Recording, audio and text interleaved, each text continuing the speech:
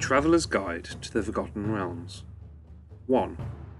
The High Road, Triboar Trail and Phandalin, Sword Coast North. 30 miles northeast of Leilon, around 65 miles south of Neverwinter. The High Road is one of the most heavily trafficked thoroughfares in all of Faerun. It runs almost 300 miles south from Luskan to the shining city of Waterdeep, from where we will take ship and start our journey proper. I left the bustle of Neverwinter a 10 day ago, taking my merry time and looking for something constructive to do, sure in the knowledge that Lord Sandrier had already stopped laughing at the audacity of my suggestion of doing a grand chronicle of Faerun. This part of the world is busy, well travelled, and, compared to many of the places we're going to visit on our journeys, possessed of an enormous population. The Sword Coast North is a region of coastal mountains and cliffs, ancient forests, and smoke wreathed ironworks. This far north, the winters are intense and long, but a warm wind from across the trackless sea makes it much warmer than other regions this far from the equator, or so the Candlekeepers say. In the northernmost reaches, the Sword Coast is an eternally frozen, wind blasted waste, rising into the endless ice. A high glacier that runs as far east and north as one can go. The ice is kept from crushing the Sword Coast by the spine of the world, a vast mountain range that we will visit someday. Here, between Neverwinter and Waterdeep, the Sword Coast is well watered and frequently humid, with many people complaining that it never stops raining in the spring and autumn and the lands are frequently heavily blanketed with snow in winter, but the summers are hot and extended by the warm winds from the sea. A quick aside for those not native to this part of the world on the calendar and tracking of time. Faerun, being just a small part of the northern hemisphere of Toril, divides its 365 days into 12 months. Hammer, Alturiak, Ches, Tarsakh, Mirtul, Kythorn, Flame Rule, Eleasis, Eleint, Marpenoth, Uktar, and Nightal. Each month is divided into three weeks or ten days of ten days long each. The days simply being called first, second, third, and so on.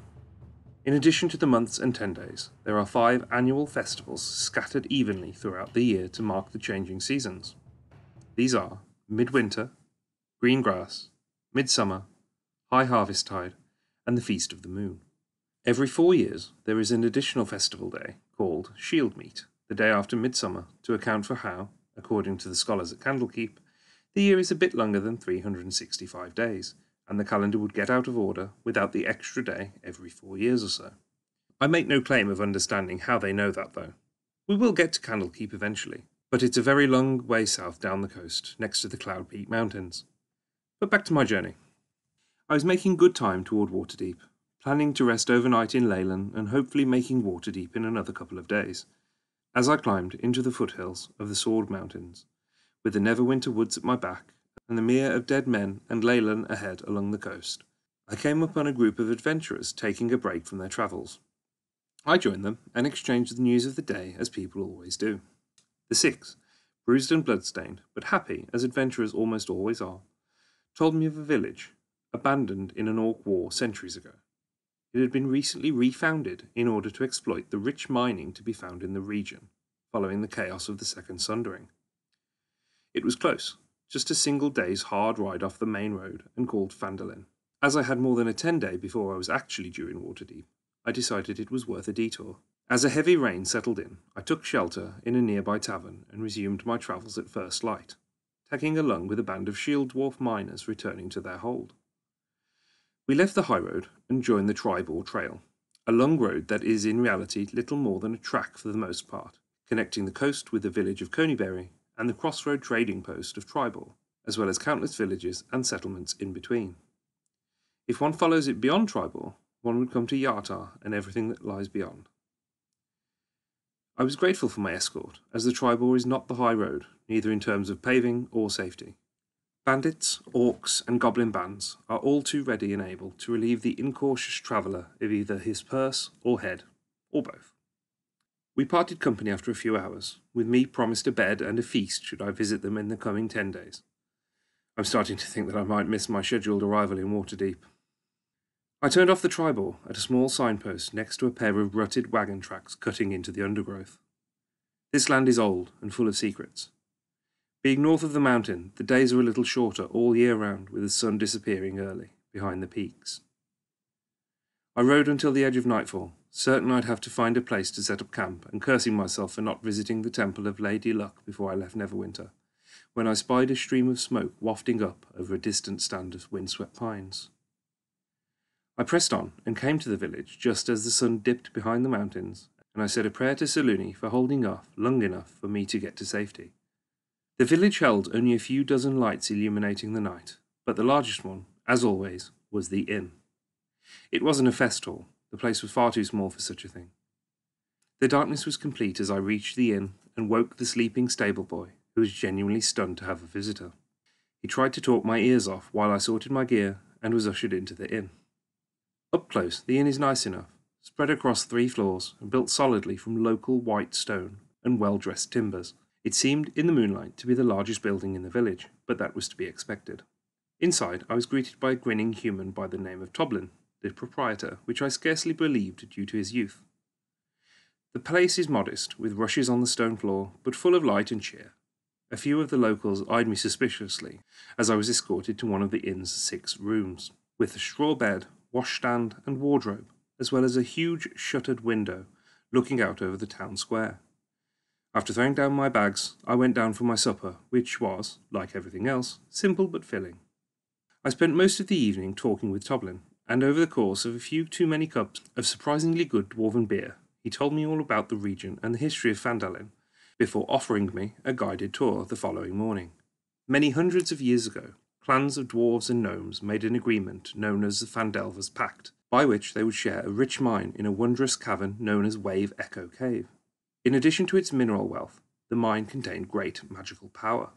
Human spellcasters allied themselves with the dwarves and gnomes to channel and bind that energy into a great forge, called the Forge of Spells, where magic items could be created. Times were good then, and nearby Phandalin prospered as well. But then disaster struck when orcs swept through the north and laid waste to all in their path. A particularly powerful force of orcs, reinforced by evil mercenary wizards, attacked Wave Echo Cave to seize its riches and magic treasures.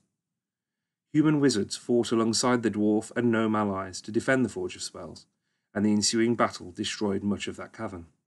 Few survived the cave-ins and tremors, and the location of the Wave Echo Cave was lost, while Phandalin's king Tresendar was killed, the town left in ruins and abandoned. For centuries, rumours of buried riches have attracted treasure seekers and opportunists to the area around Phandalin. In the last three or four years, hardy settlers from Neverwinter and Waterdeep have begun the hard work of reclaiming the ruins of Phandalin. A bustling frontier settlement has grown up on the site of the old town, and is now home to farmers, woodcutters, fur traders, and prospectors drawn by stories of gold and platinum in the foothills of the Sword Mountains. Unfortunately, more than a few bandits and brigands have settled here as well, taking advantage of the fact that the area has no local lord or authority to chase them off. A gang known as the Red Brands has controlled Phandalin for the past two months, exhorting and bullying everyone in town. The gang is led by a mysterious figure known to the townsfolk only as Glasstaff.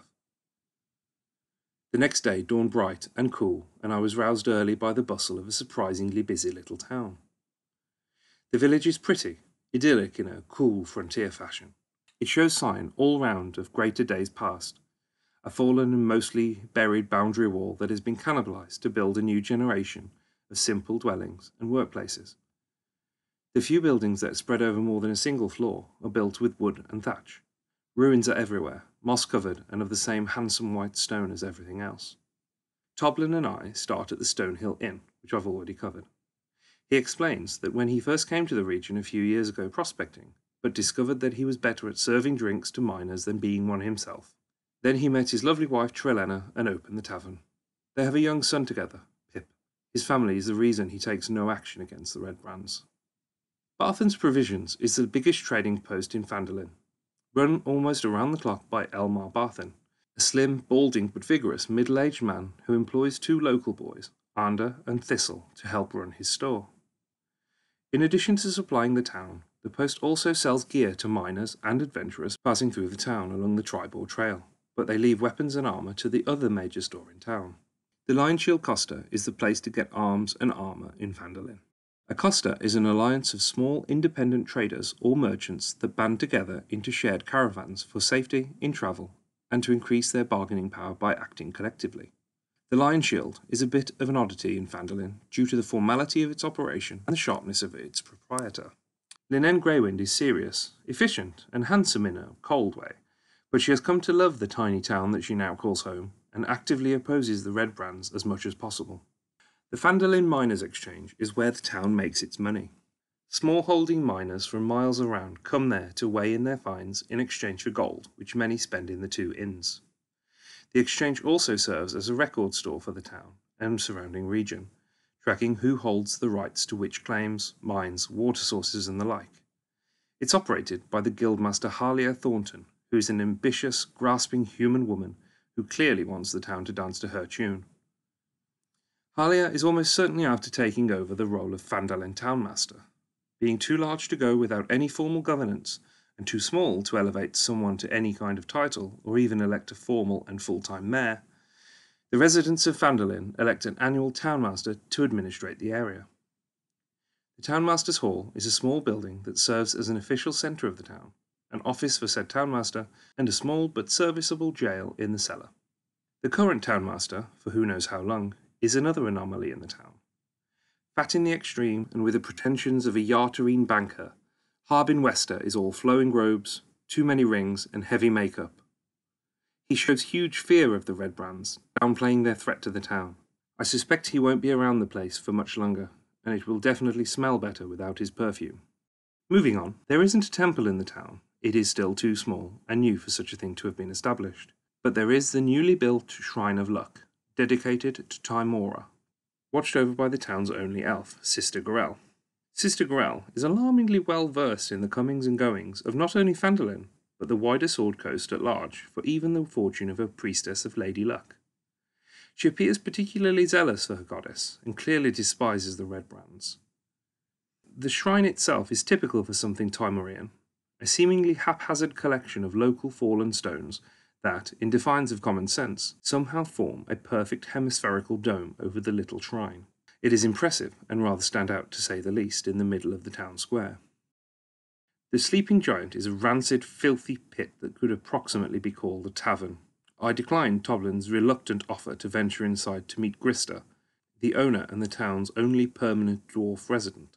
Apparently a major hangout of the Red Brands, it has a terrible, terrible reputation and that covers the majority of the central town, with the remainder consisting mainly of rope makers, a blacksmith, farrier, and other tradespeople.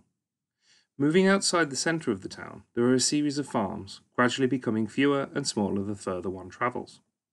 Daran Edermath is a friendly half-elf of well over a century who tends a large orchard, growing some of the best apples I've ever tasted. I spent more than an hour with him in the evening drinking homemade cider and talking about his time as an agent for the Order of the Gauntlet on the Dragon Coast of the Sea of Fallen Stars. It is clear that he misses his work, but won't speak of why he retired so far away from where he spent most of his life. Daran clearly hates the Red Brands and groups like them, and while he's insistent on his retired status, he clearly loves his new home. The other major farm close to town belongs to Qelline Alderleaf and regularly plays host to a local druid called Reidoth. Qelline is a motherly, grey-streaked halfling, whose time seems to mostly be spent chasing her energetic 10-year-old son, Carp. Carp's greatest ambition in life is to become an adventurer. Qelline is very knowledgeable about the comings and goings of her town, and is very much its resident agoniard and counsellor. The other and most curious feature of the town is the ancient and collapsing Tresendar Manor. More of a castle, really, than a manor, it is built in the style of centuries past and abandoned for at least several centuries. It seems a miracle that any of it has survived this long, but the manor and its history are compelling, well worth part of a separate report by itself, which I will present along with some of the more noteworthy areas and sites near to Phandalin. For now, Lord Sendrier, I remain your humble servant, Falrien.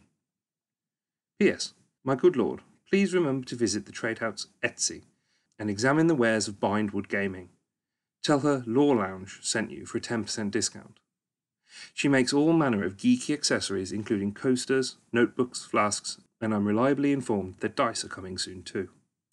PPS. I've also taken to crafting character backstories and personal histories for hire.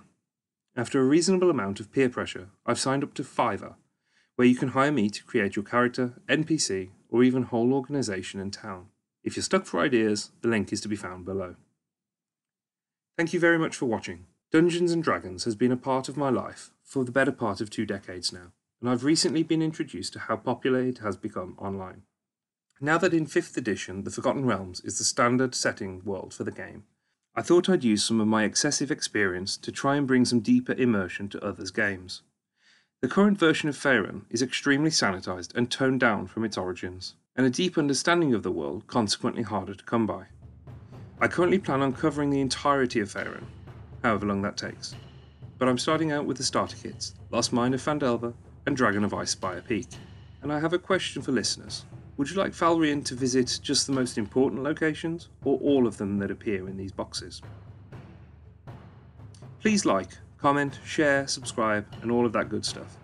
This is a new endeavour for me, and not covering 40k seems to have cost me some subscribers. Not that I had many to begin with. Please check out my Fiverr if you're interested, but any support you can offer me or my channel would be hugely appreciated. You're all truly wonderful. Hail to Chauntea the Great Mother, and I'll see you all soon. This is Thomas from the Lore Lounge.